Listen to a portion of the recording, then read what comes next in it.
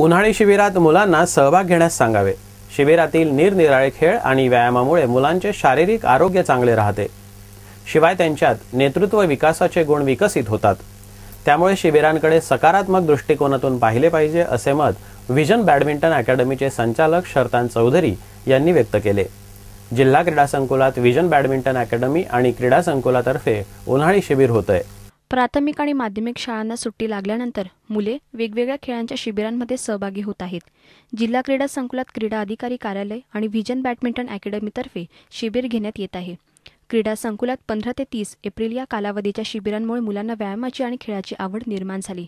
सध्या या शिबिरात पंचेचाळीस विद्यार्थी व्यायामाचे धडे घेत आहेत. बॅडमिंटनचे शास्त्रशुद्ध प्रशिक्षण घेताना शारीरिक आरोग्य कसे राखावे व्यायाम कसा करावा याबाबत विद्यार्थ्यांना मार्गदर्शन केले जात आहे.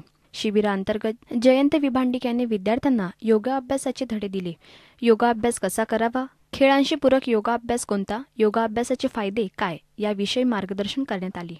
प्रशिक्षण शिबिरात खेळांची कौशल्य अतिशय सोप्या पद्धतीने शिकवली जातात. शिवाय सुट्टीच्या कालावधी असल्यामुळे मुले सराव करू शकतात. त्यामुळे मुलांचा शारीरिक व्यायाम होतो आणि खेळात प्रगती देखील करू शकतात. त्यामुळे क्रीडा अधिकारी कार्यालयाने अशा पद्धतीचे उपक्रम नियमितपणे राबवावेत अशी अपेक्षाही शरतान चौधरी यांनी व्यक्त केली.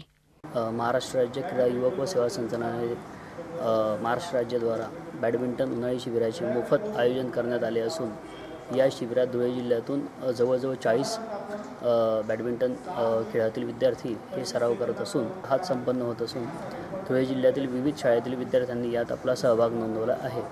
तसेच या शिबिरामध्ये आज या ठिकाणी योगाभ्यासाचे धडे श्री जयंती बंडिक सर यांच्यातर्फे दरवे दिले जात असून